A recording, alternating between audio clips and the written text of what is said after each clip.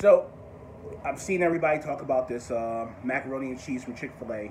Uh, don't think I've ever done a food review, and uh, this year on Hurt's House, I'm going to branch out and do more things. More on that later. So you get to watch me try this macaroni and cheese for the first time.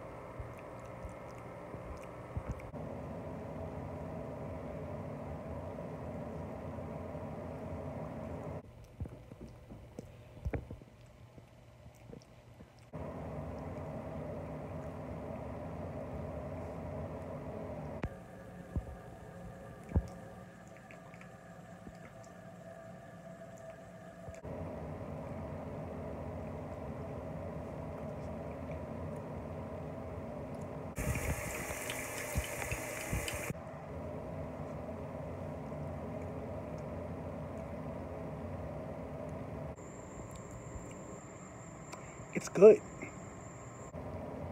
It's pretty damn good. I mean, it's real good. They don't deserve that. Like, what are you doing having macaroni and cheese is good? You don't deserve to have macaroni and cheese is good.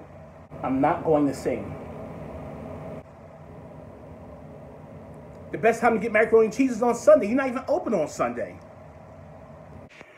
I mean, that had to be the Juneteenth version of macaroni and cheese because the if that macaroni and cheese was around during slavery, the South would have fought harder. Maybe they're right about the gays. Oh my God, this is good. This is really good. They're, they're not right about the gays, by the way. You know that list that someone from Chick fil A put up about no slang talk in the background? Like while you're at work?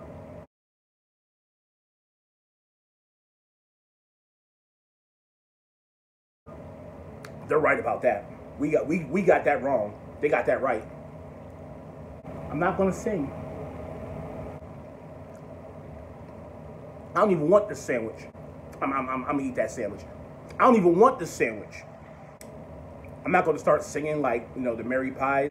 I've been looking around and you were here all along. But I kind of want to. This is pretty good.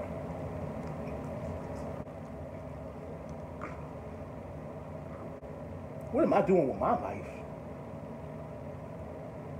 Some good, macaroni and cheese. Somebody's in trouble. I don't know, man.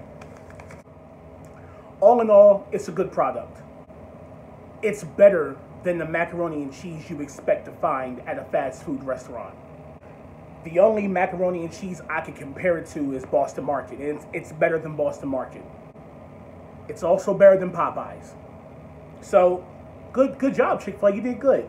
I'm gonna have to try it again to see if it's uh, consistently that good every time. The texture is really good. Uh, it's not over seasoned, and the fact that there was some burnt edges in the macaroni and cheese, because a lot of us want the edges. We want the burnt edges. Like you bougie folks can have the middle of the macaroni and cheese. Give me some of those burnt edges. So that's my review. Um, I'm probably gonna do the Popeyes chicken sandwich next.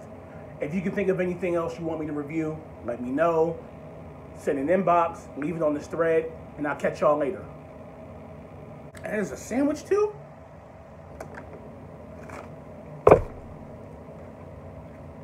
You